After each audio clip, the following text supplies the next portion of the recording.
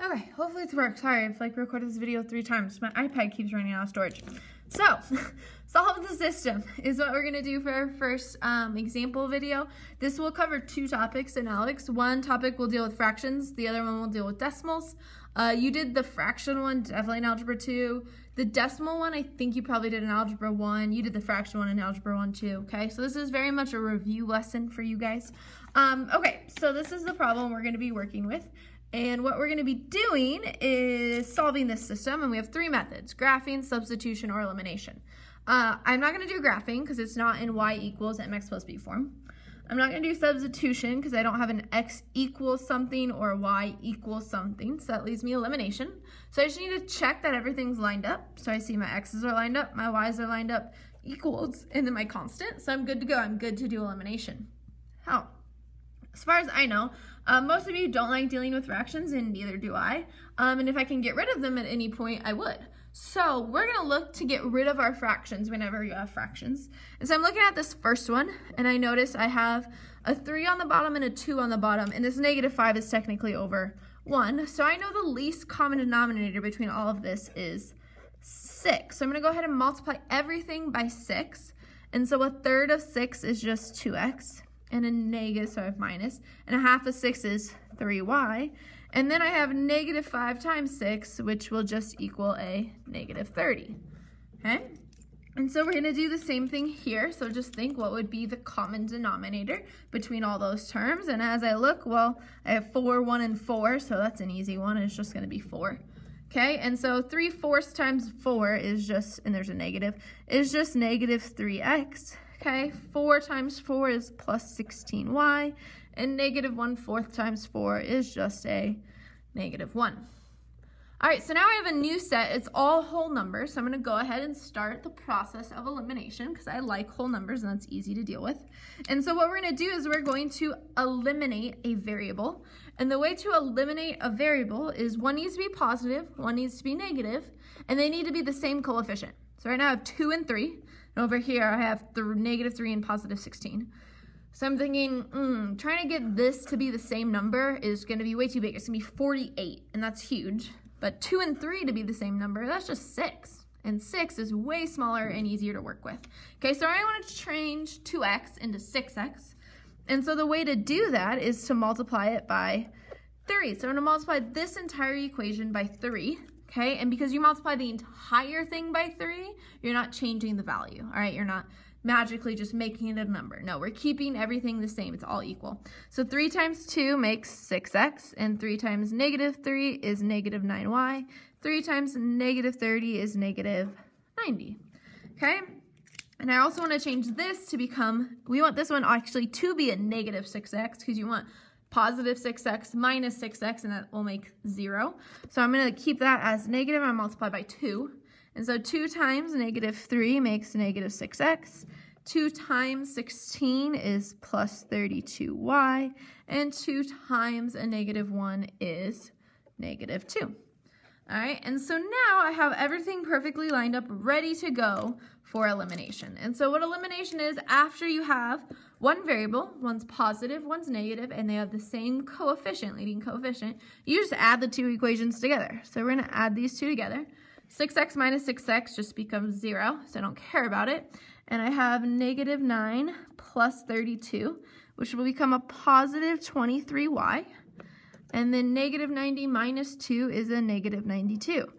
And now I can solve this equation because it has one variable, which is y, and I can solve for y. So I'm going to go ahead and divide by 23, okay? Negative 92 divided by 23, and y comes out to be negative 4. All right, so what that should tell me right now is because I got y equals a number, I'm in the category or I'm in the system that has one solution. And so when it has one solution, you have x equals and y equals something. And there's one point on the graph where they intersect.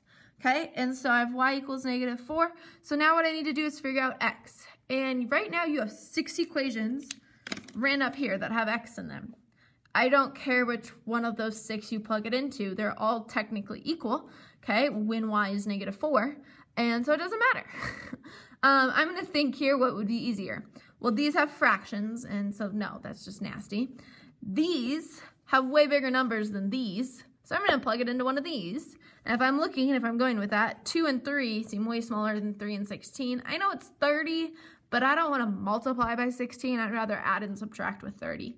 Okay, so I'm going to plug it into here. But whatever you see more fit, you can plug it into wherever you want. So I'm going to plug it right there. And so I have 2x minus 3 times a negative 4 equals negative 30. And so that's just 2x plus 12 equals negative 30. We will go ahead and subtract our 12, and I get 2x equals negative 42. So I divide by 2, and x is equal to a negative 21. And so now I have a y equals and an x equals, so I have my solution, and that solution is the point negative 21, comma, negative 4. And that is my answer. All right, and so for those of you that would like to try graphing, this is what I'm saying, is in your window, normally it's 10, it goes out 10 and left 10 and up 10 and down 10. So this wouldn't be in your window, and so you couldn't find it unless you started like zooming out on your calculator, and hopefully you'd understand that takes way longer than just doing some simple algebra. All right, so this is the fraction one. The decimal one isn't much different, to be honest. Um, we'll just get started on it, and if you want to finish solving it, you can. So it's negative 4x plus 1.5y equals 5.8, and 0.16x minus 0.07y equals 0.86. Okay, and so what we want to go ahead and do is solve this system. Okay, looking again, I'm not in y equals mx plus b form, so graphing's stupid. I'm not in x equals and y equals form, so I'm not going to do substitution. But I am have my x's, my y's, and my constants lined up, so I can do elimination pretty easy.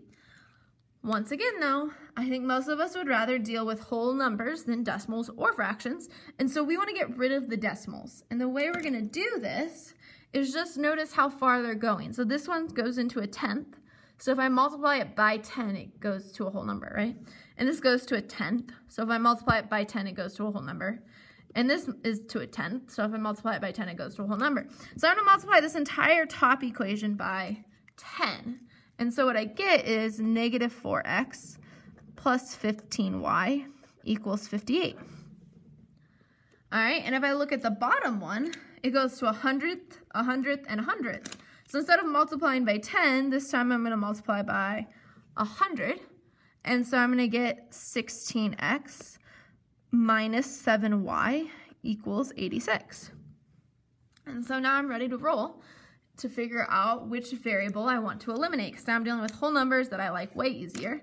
Okay, and I'm noticing right now x looks beautiful because I have a positive and a negative and the negative is already a, like just a multiple of the positive one. So I don't need to change this equation at all because I can turn negative 4x into a negative 16 rather easily.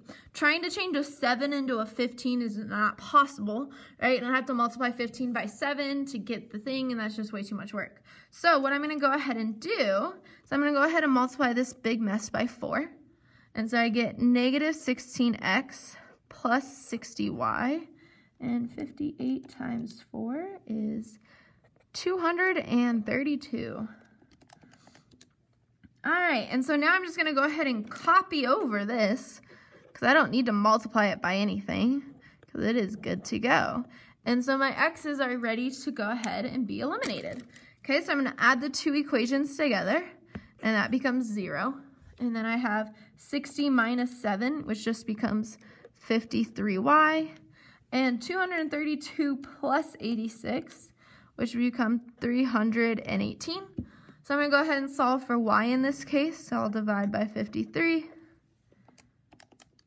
And you get y equals 6. And then you want to go ahead and solve for x. And so just pick an equation that makes most sense to you.